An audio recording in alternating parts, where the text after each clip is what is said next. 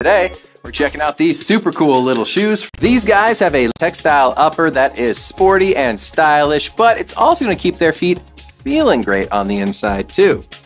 Getting them on and off is gonna be really quick and easy thanks to those strong hook and loop straps you have right there across the front.